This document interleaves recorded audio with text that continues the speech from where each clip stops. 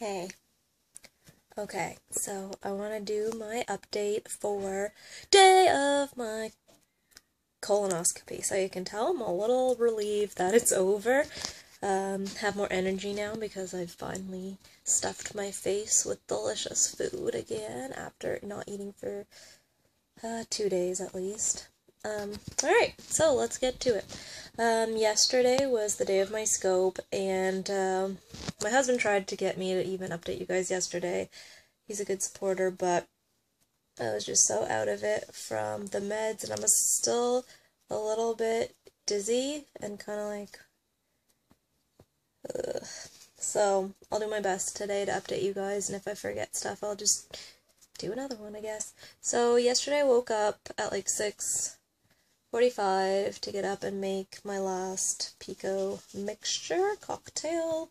Um, I took that and I just took it in bed and and then tried to drink a couple Gatorade, Powerade things, and then um, whatever, flushed out my system some more. I had to pee a lot. Like that finally caught up with me because at first, like I didn't have to pee. It was all just poop. And then yesterday it was a lot of peeing as well. So felt like every like five minutes I had to pee, even like on the way. I had to keep stopping in the hospital, like on different floors. Like, Dad, I gotta pee. Um, yeah. uh, and just to clear up, like, I'm the only one in my family with Crohn's. My dad doesn't have Crohn's. That was a little bit confusing in my video yesterday. We do have a history of colon cancer, so he gets screened as a preventative measure, not because he has Crohn's. So there are, there are different reasons why you'll need a scope, and, and I hope lots of people watch these so that they know what to expect or what experiences are, what different people go through. So um, around 10:30, my dad came and picked me up, and we headed over to the hospital. Um, things that my tips to take: I took an extra pair of clothes, like just in case there's any accidents, because when you're traveling, like even our drive was only like 20 minutes, but you never know when you're taking strong laxatives if you'll have an accident or not. So I packed um, a change of clothes so, like, I put pajama pants and an extra top, like a tank top, in my bag. Um, I take fuzzy socks, like warm socks, because hospitals I'm always freezing, and when you're under, um, I don't know, I would pack socks. I actually was so thankful I had them because as soon as I got admitted, I was freezing. So, I took extra pair of socks, and then I always take um, a couple extra bottles of water. So I took one bottle of water and one Gatorade. Um, and just wear comfy clothes. Like I wore yoga pants, a tank top, and just like an over sweater. Um, so once you get there, you take a number. They'll register you, kind of go over everything. Here you need a responsible adult. My dad said, I don't know how responsible I am, but uh, a responsible adult who can drive you, and they have to stay in the building the whole time, just in case, I guess. And then they just wait in the waiting room. So you get there, you register, and then the nurse will come and you'll change into a Johnny shirt and you get a robe. You get to leave on like your top clothing. You have to take off everything from the waist down. Um, and then you go through, well, depending on your hospital, I had to go through the big double doors. And before, like, my mom went with me to that part the first time I had them, but they don't encourage it, so um, I put on, I was a big girl, and I guess I was calm, cool, and collected this time because I'm a seasoned veteran. And went through those doors by myself, and my dad waited back. So you just wait in the waiting room until your name's called to get you prepped for it. So you'll go, and they do like a brief medical history. So do you have any heart problems, lung problems, um, glaucoma? Are you allergic to any drugs? So since I am allergic to Remicade, I had to wear a red bracelet. I finally just cut it off um, this morning. So you'll have your hospital bracelet and then a red bracelet if you're allergic to anything. Um, uh, what else do they ask you? Nothing. Oh, if you're on any medications, you need to make sure you bring all those, the dosages, and how often you take them and everything. And oh, I didn't know this either, but I was really nauseous from the Pico and not eating. You can take Gravol. I just am such a worrywart that I don't take anything. So you can take Gravol through your fasting and everything if you're super nauseous like I get.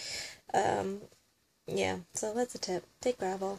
Um, then I got my IV, so I got it in my hand. because I have really bad veins. Like I said, I have a, a port. Um, I don't know if you can see, but there's, that's where I had my IV. It is a little bit swollen. Not too bruised, but, and I was really happy because I didn't have to have a, an IV like stick that I had to carry with me like usual because that's really annoying to do anything with. But I just put the shunt in my hand and then um, when I went into so after you get your IV, I waited for my doctor and then I went down. I I could walk. They didn't use a gurney or anything for me. Oh, P.S. When I was in the waiting room, I was like the only person under 50.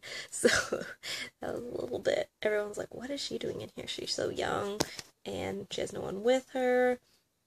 So I was like, I'm a champ. I'm strong. I can do this. So just thought it was funny how everyone else was like 50 or 60 or 80. But it's okay, whatever. So then I walked down to the room. My doctor was there, and she had my special cocktail, as she called it. And I asked what it was that they give me, and it's fentanyl. So that's the extra drug that I get to put me to sleep. So um, you assume the position, which is lying on your left side, and they kind of pull up all your Johnny shirt and your house coat. Like you get to leave that on. They pull that up under a blanket, so like you're not exposed until you're asleep, just to make it more comfortable. And um, be prepared though, like the you might go in and see the hose lying on the table, so you'll see like an ultrasound looking um, screen on one side that they would be looking at, and you lie on your left side. And my doctor made me push over more because she's like, I don't want you falling down. I don't want any lawsuits. So you lie on your left side, and then she just pushed the drugs through my IV. She pushed one through. I don't know which order she gave them to me, and I said, "Well, it's cold, like it's room temperature, but you can feel it going through your veins." And then she pushed the second one, and I remember saying I'm a lot more calm than the first two times we did this, right? And she's like, yep. And then I don't remember anything after that. So I woke up in recovery, and my doctor came over and she gave me um, my papers because I asked for pictures, and she was like, yeah, of course. And I was like, is that weird? And she's like, no, people ask for them. She's like, I had my husband's picture of his colon up on our fridge for a while. And the nurse was like, that is weird. Why would you do that? like, because we're weird like that. So once you become like used to medical stuff, you're like, whatever, it doesn't matter. So I'm gonna try to keep this under 10 minutes. So I have two more minutes. Um, and then I blank. So I woke up in recovery and I woke up actually from pain in my stomach. So because they have to push your bowels full of air, all the air has to come out and they do try to suck out the air, but like it naturally has to come out as well. So I actually woke up A because I had to pee really bad because I got nervous before and I can't pee when I'm nervous, and then two because of the pains in my stomach. So you do have gas pains and the nurse were like, "Don't be shy, let it out or it's going to hurt more." But who is comfortable enough to like let gas pass when there's 10 other people lying in gurneys recovering and nurses and people like no. So I tried to quietly anyway. And then walking is the best thing to do if you have gas pains really bad. So today they're kind of gone, but they're still kind of there.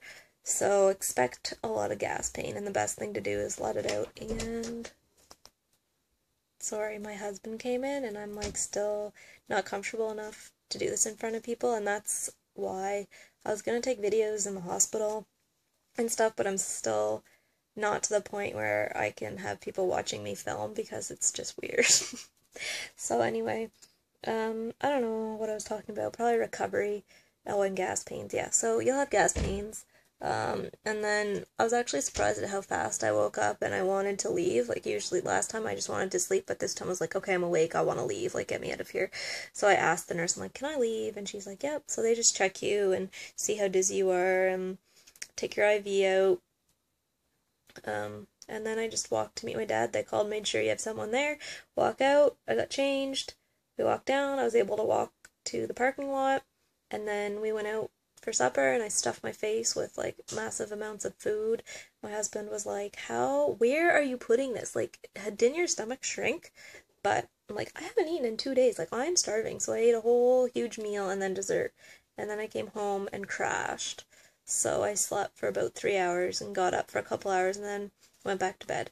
So today I'm just still nauseous and dizzy and kind of feel woozy and stuff, so I'm gonna rest. We went out and did some errands just because I've been trapped to the house for a couple days, needing to be by a bathroom. But we went out and it's really sunny out today, so get out, like don't go shack wacky. Whoops. Um, so to finish this up, um, if you have questions about other things in more detail or whatever, it went well. Like I stayed asleep, so there's not much to update other than that.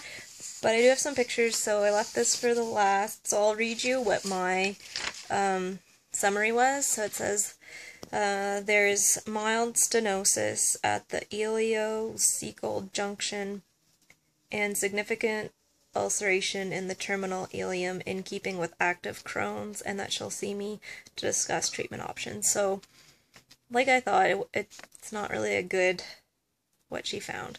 Um, I had to look up what stenosis means, um, and it means that there, I have a narrowing in my bowel. So that's why I have so much pain lately, and I honestly thought over the last couple months that I had an obstruction. So basically, it's a narrow narrowing obstruction in my bowels. So for food to pass, it doesn't matter what I eat, it hurts to pass through that little part, and I can feel it. And I can also always feel after I eat um, when it's passing through my disease part because it actually burns and hurts and it doesn't feel nice. So if you have that, I know what you're feeling.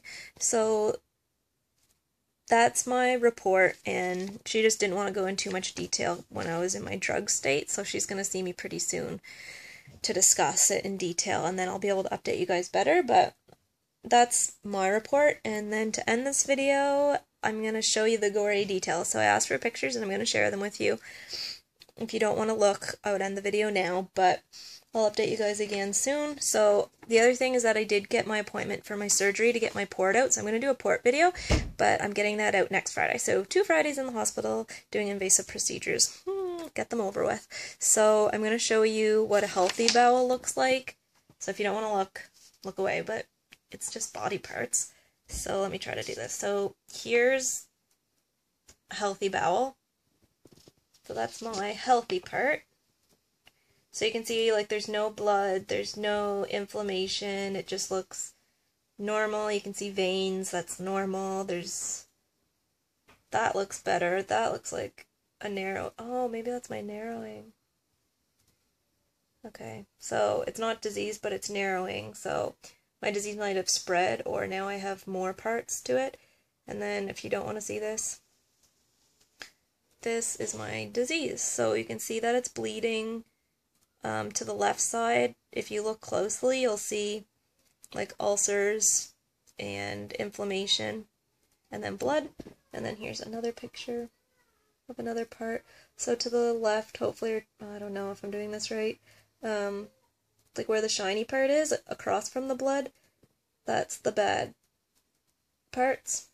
And then it's bleeding and, and it's really sore. So healthy versus not healthy. And then that might be my narrowing, but like I said, I'll get more details. I'm kind of just looking at this as a non-doctor and guessing, but that looks like a narrowing. And this looks like right here is is all the ulceration and then it bleeds too. So that's why I get a little blood and sore. So that's what Crohn's disease looks like. Well, mine anyway. And it's really nice to be able to see what mine looks like. But anyway, I have to wrap this up so that this video actually loads and it doesn't say oh, video is too long, okay? So ask questions, share me your experiences. Was that gross? Was that too far? I don't know. It's it is what it is, right?